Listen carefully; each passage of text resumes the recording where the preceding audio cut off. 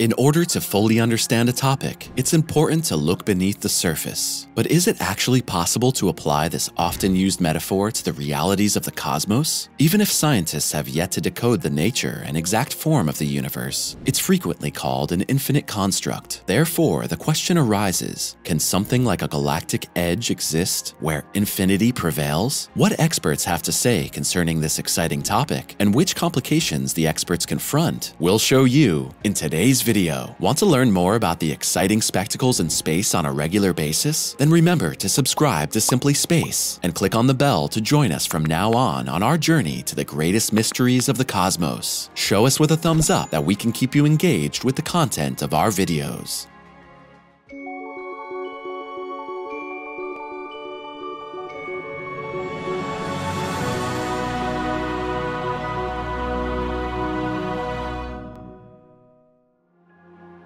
A limited view. Our earthly view of the stars is not suitable for understanding the universe as a total construct, a fact that becomes clear if we keep in mind that we can truly explore only a vanishingly small part of the cosmos directly. That area is defined in cosmology as the observable universe. This model is based on the assumption that the cosmos is isotropic and homogeneous. This means that the universe also presents itself to the observer in the same way, independent of his location and direction of observation. Within the model of the observable universe, our Earth forms the center of a sphere. The sphere surrounding our blue home planet corresponds to that region of the universe which we can see from our point of view. Taking into account the constant expansion of space, the distance to the observation horizon is estimated to be 46.6 billion light years. In fact, it's necessary to take into account that the distance covered by light in the course of millions of years has been subsequently extended of the unrestrained expansion of the universe. It's obvious that our earthly view into space is subject to some natural restrictions which make it impossible for us to understand the cosmos as a whole, for we simply do not know what is hiding beyond the observable universe. So where the direct research gaze is subject to blinders, experts must use other means to get as close as possible to the true manifestations of the universe. The most promising research tool of experts is therefore mathematics. Basic types of universe. Before we turn to the question of how it's possible to define the edge of an infinite universe, we should first take a look at the three different basic types of the cosmos described in Albert Einstein's general theory of relativity. The only type which is not infinite is a universe which essentially curves into itself. From a mathematical point of view, the cosmos in this case would have a positive curvature. If we travel in such a universe long enough, in a certain direction, we would come back to our starting point eventually. In such a universe, however, the terrestrial laws of geometry are to some extent reduced to absurdity. For example, in such a case, two parallel lines will eventually converge and cross each other. Within general relativity, a universe with this geometry is called de Sitter space. Things are different again in the scenario of a flat cosmos. Here, two orbits running parallel to each other will never change their distance to each other, let alone touch. Last but not least, there is the case in which the universe has a negative curvature. The corresponding models draw the cosmos, here as a saddle-shaped construct. This geometrical model is called the anti-de Sitter space which the example of the parallel lines makes clear. Instead of the corresponding orbits crossing each other at some point, they diverge in a cosmos with negative curvature. This means that they diverge into infinity. In accordance with our topic today, we leave the model of a finite cosmos to the side for now and direct our attention to the two variants which describe an infinite universe and our initial question, how is it possible to limit infinity?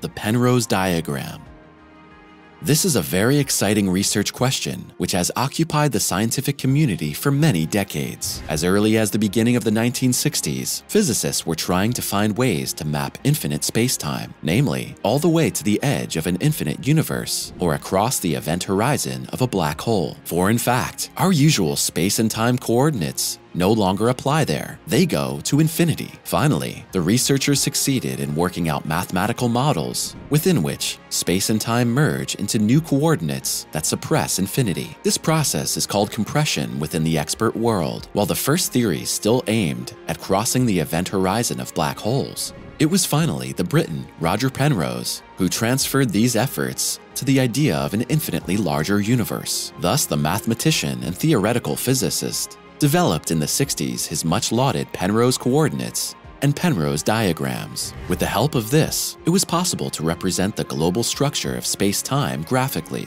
On the corresponding diagram, space is entered horizontally and the time vertically. A light cone, in turn, shows the causal relationship between different events of space-time. Here, the metric is compacted by a conformal transformation. In simple terms, this means a conformal mapping, whereby the infinite time as well as an infinite space coordinate is represented as a two-dimensional finite subspace. This particular conformal compression ensures that the path of any light ray is at an angle of exactly 45 degrees across the diagram. Conversely, this means that only the speed of light is capable of reaching the specified limits. Everything that moves below the speed of light, or in other words, everything that has a mass, is literally carried away away by the contours of space. Thereby, the Penrose diagram also opens up a conceivably exciting possibility. We can follow a quantum field up to infinite distances and calculate its behavior there. The most famous application of this method among experts was carried out by none other than Stephen Hawking. The British theoretical physicist connected a quantum field between two points at infinite distance, or in other words, both in the past and in the future, whereby he finally succeeded in defining the state of the quantum vacuum in resolvable flat space. Hawking then placed a black hole between these points and calculated how it affected the equilibrium of the quantum field. In the process, Hawking ultimately concluded that two areas in the universe that are infinitely far apart cannot be in a perfect vacuum if a black hole lies between them. This insight led the renowned expert to the thesis that the black hole must generate particles, the so-called Hawking radiation.